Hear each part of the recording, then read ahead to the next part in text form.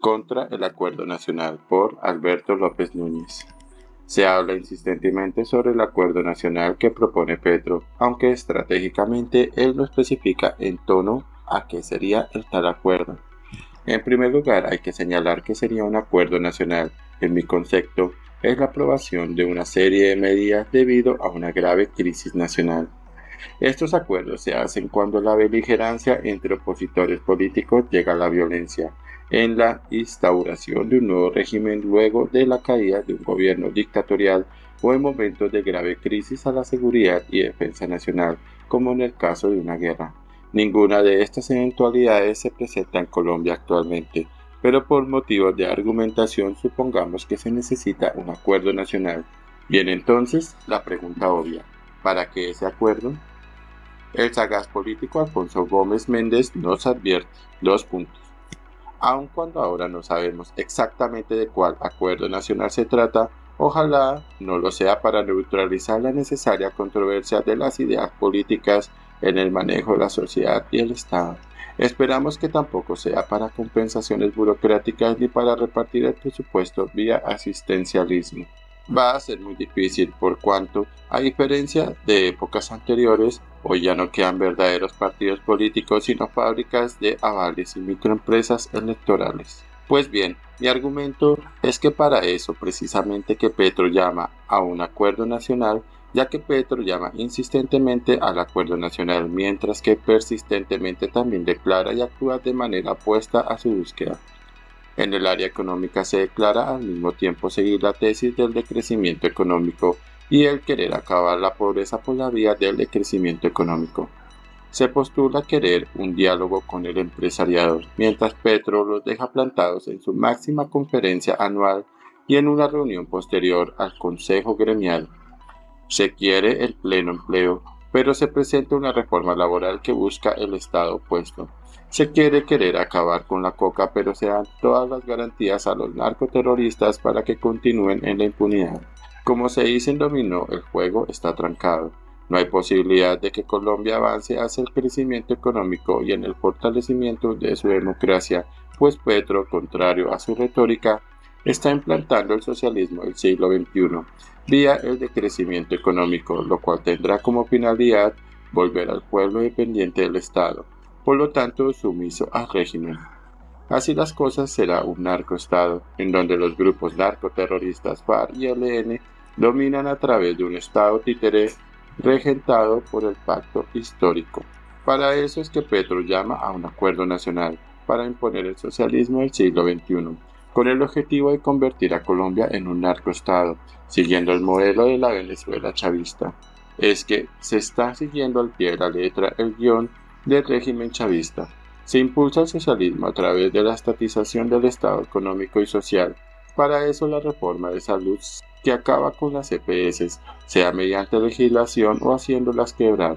Para eso la reforma laboral que impone la quiebra de micro y pequeñas empresas a través de un régimen laboral que las elimina por obligaciones por encima de su capacidad financiera empobreciendo así a la gran mayoría de la población que es propietaria y depende de estas empresas, creando una gran masa de desempleados, dependientes de los subsidios estatales y por lo tanto sumiso al régimen. Para eso la reforma pensional, que al imponer el pilar de tres salarios para el régimen básico quiebra los fondos de pensiones, haciéndose el gobierno ilegalmente con esos recursos del ahorro pensional para eso el decreto que impone las expropiaciones del mundo rural y así sucesivamente hasta llegar a la joya de la corona del petrismo, con la política de decrecimiento. Se suspende la exploración petrolera llevando a la industria de hidrocarburos a su empequeñecimiento de manera tal que quebra la economía nacional pauperizando la población, repito, para hacerla dependiente del Estado y por lo tanto de la dictadura del siglo XXI. Paralelo a esta política de pauperización está la del fortalecimiento de la dictadura vía la milicianización del país.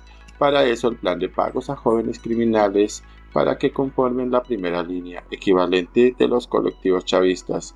Para eso la ley de conciliación nacional que les da impunidad a todos los grandes carteles y grupos criminales organizados, haciendo así el pacto de la picota, mientras que simultáneamente se crea un cogobierno con el ELN y las FARC dándole a estos narcoterroristas impunidad elegibilidad y el dominio sobre la economía legal que será la verdadera economía nacional ante el derrumbe de la economía formal, la cocaína, la minería ilícita y demás crímenes de lesa humanidad les dará a estos grupos criminales el poder de facto sobre grandes territorios del país, conduciendo a la balcanización de Colombia, tal como hace Maduro en Venezuela, dándole el control de más de la mitad del país al ELN y las FARC.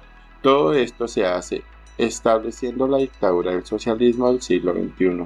Para ello Chávez logró la aprobación de una ilegítima constituyente que hizo una constitución a su medida.